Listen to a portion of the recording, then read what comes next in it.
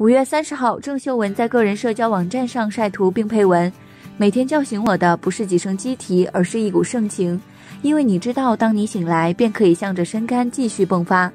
这个深干可以是有形的，例如完成某事、达成目标，例如照顾儿女。”但是也可以是没有形的，就是精神性的、心灵的、灵性上的生干。工作是死的，是你跟你的工作提供养分和生命力。粉丝也留言道：“每天看的咪的动态升级，仿如瞬间给我打进一支强心针。即使当天有什么烦心的事情，只要看着咪过得好好的，嘴角就不自觉的向上翘。很开心咪能找到自己的扶杆，奋力往前跑。